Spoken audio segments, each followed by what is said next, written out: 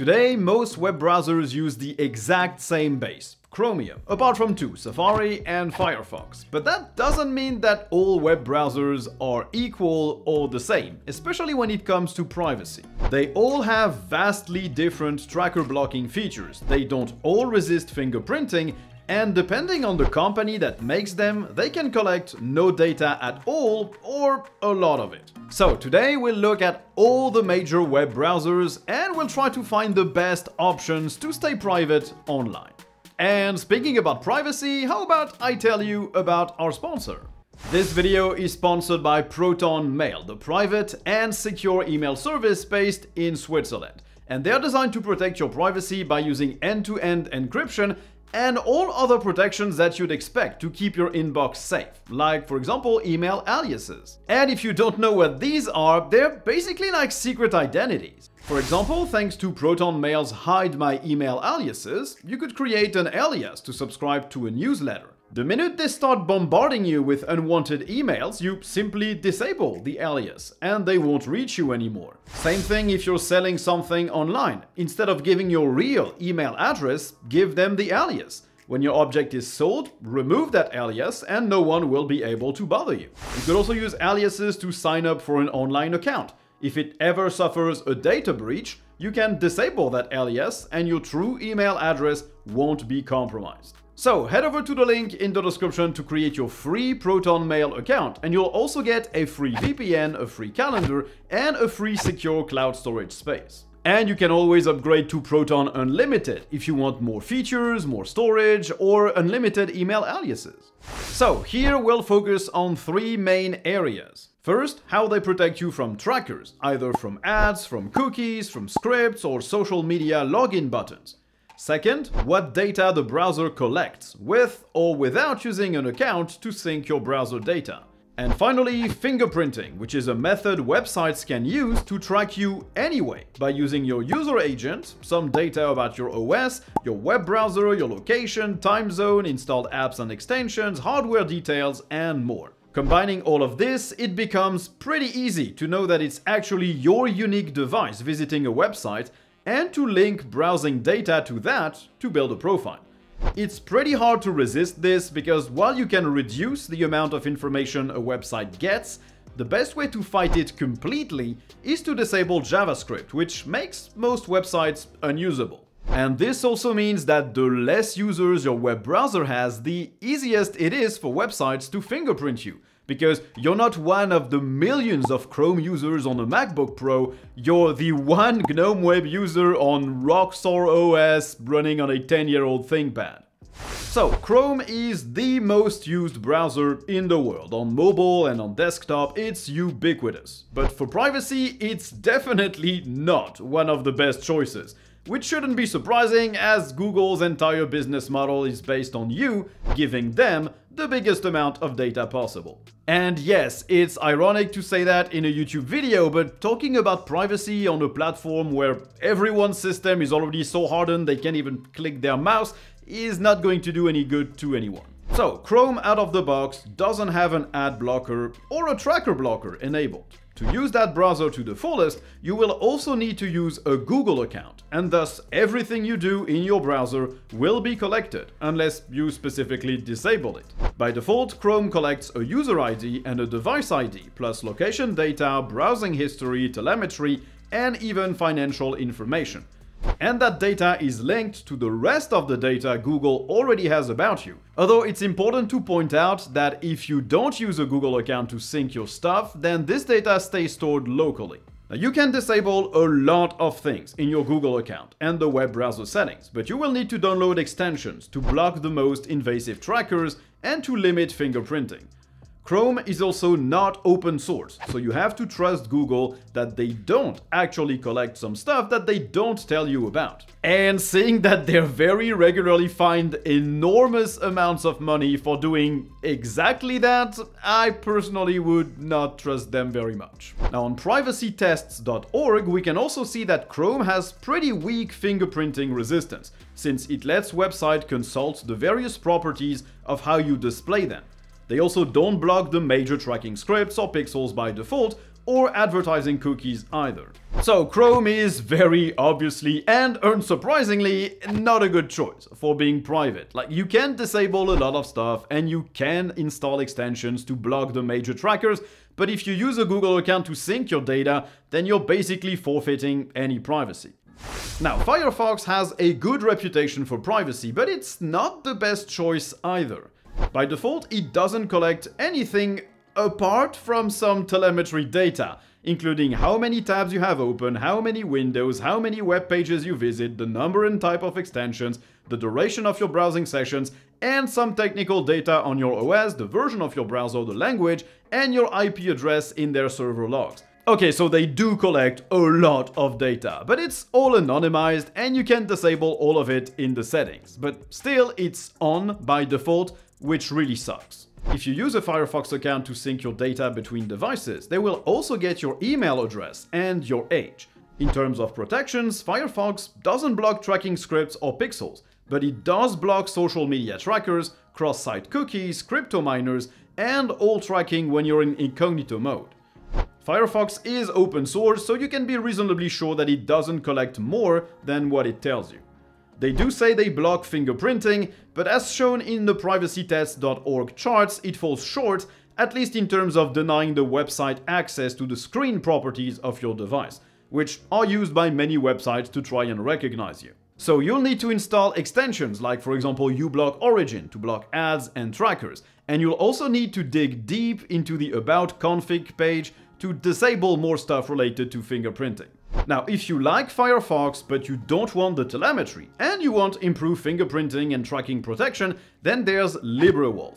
It blocks the same things as Firefox but doesn't send data to anyone. It replaces Google by a more private search engine, it includes uBlock Origin by default, and it's also hardened against tracking URLs. It is a very good browser that all privacy-minded Firefox users should probably move to, and yes, that includes myself. But let's move on to something that clearly focuses on privacy, Brave. They offer a lot of what you would be able to do in another browser with extensions, but it does so out of the box. They call these shields, and they block ads, trackers, fingerprinters, and cross-site cookies by default. They also auto-redirect Google's AMP pages to the real website, and they redirect tracking URLs so you're not even visiting the tracking domain at all. Brave also blocks LinkedIn embedded posts and has options to block Facebook logins or embedded tweets, which also track you even if you never click on them or visit Twitter or Facebook. But these aren't blocked by default. And I don't know why, because they're clearly not an integral part of the content. Like, if the article you're reading is based exclusively on an embedded tweet, then it's probably not worth reading. Now Brave does send daily usage data to their parent company, but it's all anonymized. You can disable that in the settings as well, so same deal as with Firefox. Brave also uses Tor to hide your IP address when using private browsing, and they also use their own search engine by default, instead of using Google like most other web browsers. So even your searches online will be private, as Brave Search doesn't collect any personal data or IP addresses. Brave Search does have ads though. Hey, since no one wants to pay for a web browser, you do have to make money in some kind of way at some point. Brave blocks tracking scripts, pixels, cookies, and prevents websites from accessing your screen's properties, so it's also relatively resistant to fingerprinting. On privacytest.org, it's one of the best, at least relative to the tests that they run.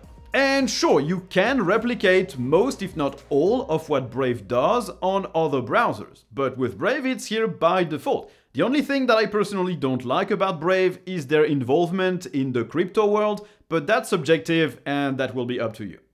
Now the ultimate private browser is probably Tor browser, but it won't be for everyone.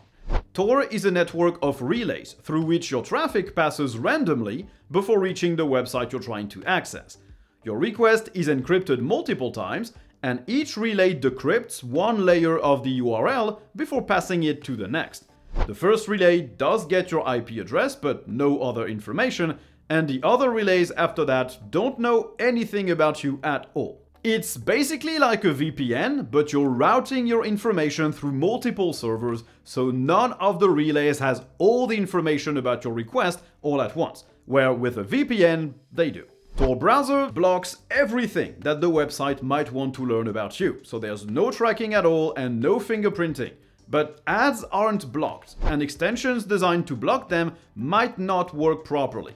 It's based on Firefox, so it could install any Firefox extension, but the Tor project recommends against it. Tor browser by default doesn't store any browsing history and cookies are deleted at the end of the session. Since the traffic passes through three relays, it's also a lot slower than browsing with a more mainstream browser. Tor virtually hides everything about you, your location, or your device, but you'll have to sacrifice some convenience, which is generally the case when you want to stay private. It's a trade-off between convenience, something super easy but you're tracked everywhere, or something where you have to jump through hoops but your data isn't being sold to anyone. I personally like hoops. Now, just for a laugh, we'll talk about Microsoft Edge. Edge is based on Chromium, the base for Chrome, but they remove everything Google related from it, to mostly replace it with Microsoft related things, like a Microsoft account. Edge by default has an opt-out for telemetry. It will block trackers from some third-party sites and some ad trackers as well. It also collects required diagnostic data that you cannot opt out of. If you use a Microsoft account, you will also give them a bunch of data in the process, including device information, usage data, browsing activity, bookmarks, and more. In its default configuration, Edge is exactly like Chrome, but it does block more major tracking cookies, including all of Google's. Well, why would you give your main competitor any data, right? They don't block the trackers from Bing ads, though. You can disable everything here except for the required telemetry, so in the end, Edge is no better or worse than Chrome. It's basically the same, but you're giving your data to Microsoft instead of Google. Now, Opera is yet another Chromium-based browser, which gets the worst results on privacytests.org. It has a unique fingerprint, it doesn't block tracking scripts or tracking pixels, and it doesn't resist fingerprinting really well, it also doesn't remove tracking parameters, and it doesn't block the major tracking cookies. It doesn't send do not track signals by default either.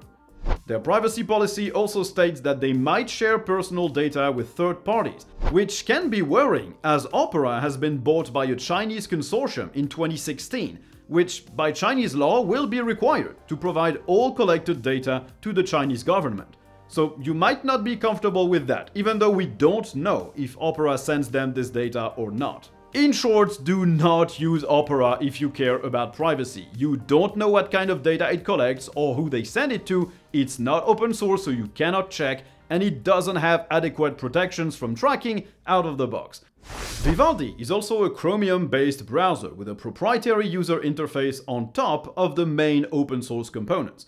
At first start, it will ask you what you want to block, and since we're talking about privacy here, I will assume everyone here will click the block trackers and ads setting.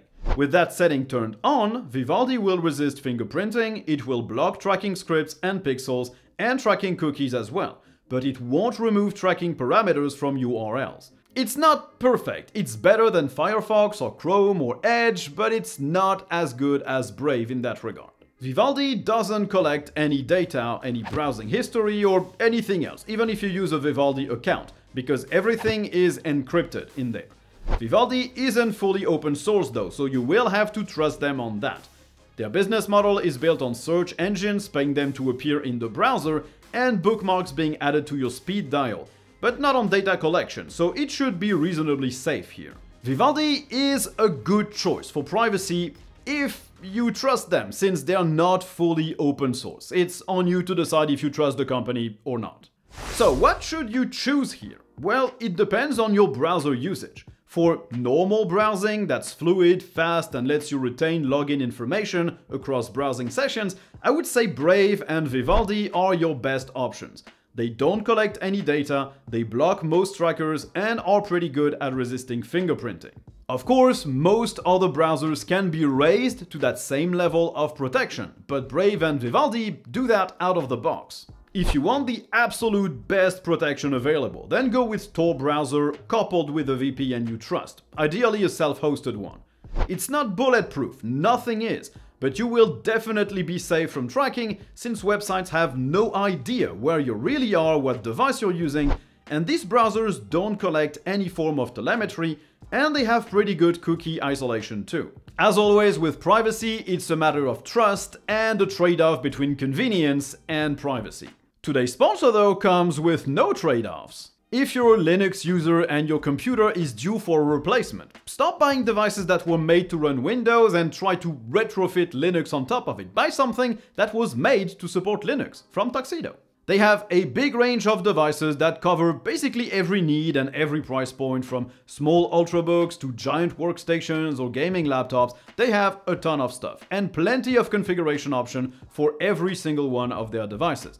All the laptops are openable, repairable, and upgradable. And they're based in Germany, but they ship to most countries in the world. And while they only offer a selection of distros that can come pre-installed on their laptops, you can also just install any distro you want because the hardware has been picked specifically because it works well with Linux. So if you need a new computer and you plan to run Linux on it, stop buying Windows devices. Click the link in the description below and get yourself a Tuxedo PC. So, thanks everyone for watching the video. I hope you enjoyed it. If you did, don't hesitate to like, to subscribe, to turn on notifications, or to write a comment. And if you didn't like the video, well, you can always dislike it and tell me why in the comments as well. And if you really enjoy the channel and you want to help me make more of these videos, I left plenty of links to support it in the description. You know the drill. So, thanks everyone for watching, and I guess you'll see me in the next one.